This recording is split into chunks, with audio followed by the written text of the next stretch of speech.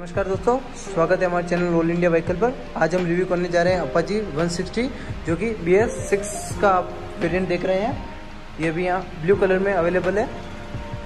दोस्तों, बात करें कुछ चेंजेस की तो कंपनी ने सबसे बेस्ट चेंजेस टी ने जो किया है, वो कि इसको लाइट को लेकर किया है। इसमें आपको सबसे पहले हेलोजन बल्ब मिलता था।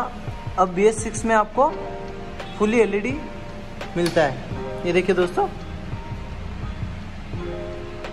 जो ये काफ़ी अच्छा भी लगता है और काफ़ी स्पोर्टी लुक भी देता है। अब बात करें इसके टायर की तो यहाँ पर आपको एलोविल प्रोवाइड होते हैं और इसी के साथ आपको ट्यूबलेस का टायर भी मिल जाता है। और बात करें इसकी डिस्क की तो यहाँ पर आपको एक दो सौ mm का डिस्क मिलता है और यहाँ पर आपको सिंगल चैनल एबीएस मिलता है, जिसमें एबीएस की ये दिया हुआ है।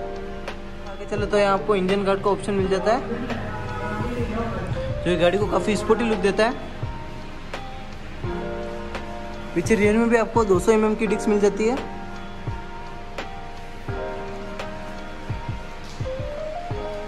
बात बात करें इसके हैंडल बार की तो यहाँ आपको इग्निशन स्विच मिल जाता है और जस्ट के नीचे तो यहाँ आपको सेल्फ का ऑप्शन मिल जाता है।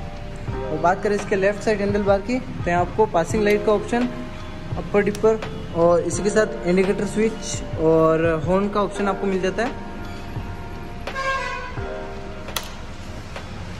12 लीटर का आपको फ्यूल टैंक मिल जाता है। और बात करें गाड़ी के माइलेज की तो 45 और 45 प्लस हाईवे पर यह गाड़ी का माइलेज बहुत ही अच्छा है। रियर में बात करें तो कंपनी ने किसी प्रकार कोई भी चेंज नहीं किया है। टेल लाइट पहले जैसे एलईडी दे रखी है और साइड में आपको इंडिकेटर का ऑप्शन मिल जाता है।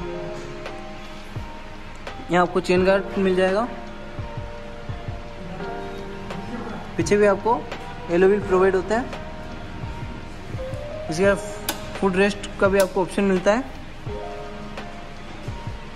साइड स्टैंड यहाँ पर आपको लेग गार्ड भी दिया गया है, जो कि गाड़ी का लुक काफ़ी बेटर बना देता है।